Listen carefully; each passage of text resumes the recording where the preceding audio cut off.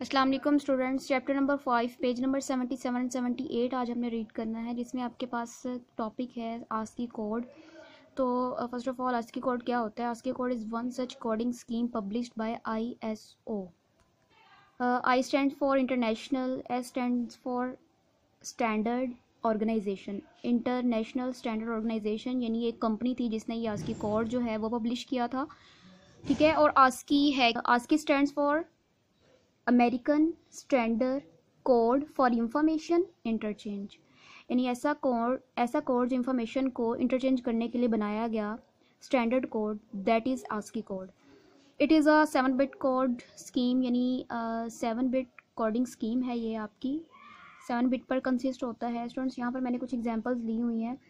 आपकी बुक पे एक पूरा टेबल बना हुआ है जिसपे आपको हर हर करेक्टर के बैक पर जो आस्की कोड यूज़ हो रहा है वो सारे लिखे हुए हैं। और आपके सिंबल्स के जो आस्की कोड हैं वो भी दिए हुए हैं। तो ए का आस्की कोड सिक्सटी फाइव है बी का सिक्सटी सिक्स है सी का सिक्सटी सेवन है ए बी देखें, आप कैपिटल लेटर्स और स्मॉल लेटर्स के जो आस्की कोड हैं वो सब डिफरेंट हैं।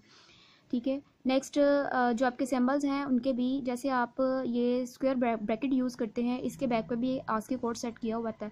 यानी आप कुछ भी आप कंप्यूटर में यूज़ करते हैं तो उनके आस्की कोड्स होते हैं फर्दर उन आस्की कोड को कन्वर्ट किया जाता है बाइनरी में और देन कंप्यूटर उन पर वर्किंग करता है प्रोसेसिंग करता है। ठीक है? There is no character corresponding to the code zero to thirty one वो कहते हैं कि जो ज़ीरो यहाँ पर जो कोड सेट हुए हैं, वो आपके ज़ीरो से लेकर वन ट्वेंटी सेवन तक आज की कोड उन्होंने सेट किए हुए हैं।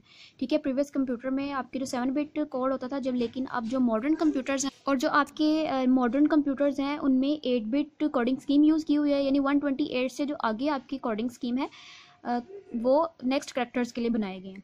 ठीक है तो यहाँ पे इन्होंने कहा there is no characters corresponding to the codes ये आपको एम भी पूछा जा सकता है कि कौन से करेक्टर्स हैं जो कौन से ऐसे नंबर्स हैं जिनके बैकेंड पर करेक्टर जो यूज़ हो रहे हैं वो zero zero to thirty one है। यानी ज़ीरो से थर्टी वन तक कोई भी ऐसा करेक्टर नहीं है। यानी ये जो कोड हैं, ये एम टी हैं।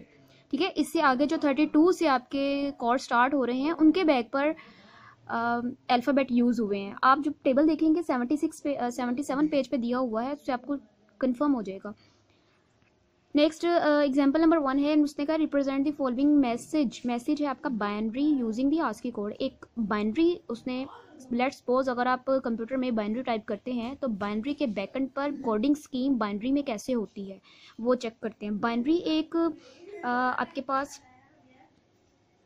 वर्ड है यानी लेटर्स का कम्बिनेशन है करेक्ट टेबल बनाया हुआ है जिसमें ये आपके पास सारे करेक्टर यूज़ हो रहे हैं डेसिमल इनके बैक पर जो आस्की कोड हैं वो ये हैं उन आस्की कोड्स को फर्दर कन्वर्ट uh, किया हुआ है बाइनरी कोड में। तो स्टूडेंट्स आप चेक करें कि अगर आप एक वर्ड लिख रहे हैं बाइनरी तो उसके बैक पर जो बाइनरी कोड्स हैं यानी डिजिट्स हैं वो कितने ज़्यादा होंगे?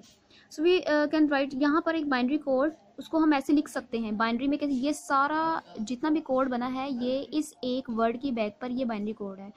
तो आप चेक कर सकते हैं, यहाँ से आप एक कोई सेंटेंस टाइप करते हैं कंप्यूटर में तो उसके बैक पर जो बाइनरी स्कीम बाइनरी कोड्स होते हैं, वो कितने ज़्यादा लेंथी हो जाते हैं। इसलिए बाइनरी में लिखा हुआ डाटा बहुत ज़्यादा लेंथी होता है कॉम्प्लिकेटेड होता है, उसको अंडरस्टैंड करना as compare to high level language ये आपकी हाई लेवल लैंग्वेज होती है, ये आपकी सारी मशीन लैंग्वेज होती है, जो जस्ट मशीन ही अंडरस्टैंड करती है। नेक्स्ट जो है बाइनरी कोड डेसिमल यानी बीसीडी कोड बीसीडी कोड क्या होता है? आपके नंबर्स को कन्वर्ट करता है फोर बिट कोड में। ठीक है? और नंबर्स आपको पता है, वो ज़ीरो से नाइन तक होते हैं और ये फोर बिट में ही कन्वर्जन करता है। तो यहाँ पर उसने जो कोड्स दिए हुए हैं फर्दर दिए हुए ज़ीरो के बैकेंड पे ये कोड होगा वन टू थ्री फोर ठीक है? Five six seven eight nine तो बीसीडी कोड जो है, वो जस्ट नंबर्स की कन्वर्जन करता है और नंबर आपके पास टेन ही होते हैं, वो होते हैं ज़ीरो से लेकर नाइन तक और फोर फोर बिट का आपके पास ये नंबर होता है बीसीडी कोड जो है।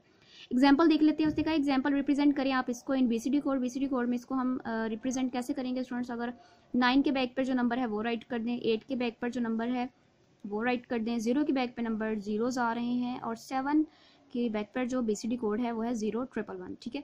इसको आप कंबाइन कर दे तो आपके पास ये एक बीसीडी कोड बन जाता है। तो कंप्यूटर के अंदर अगर बीसीडी कोड सिस्टम कन्वर्जन है तो आपका जो कोड है, वो फोर फोर बिट में कन्वर्ट होगा और वो आपका कोड बीसीडी कोड में कन्वर्ट होगा।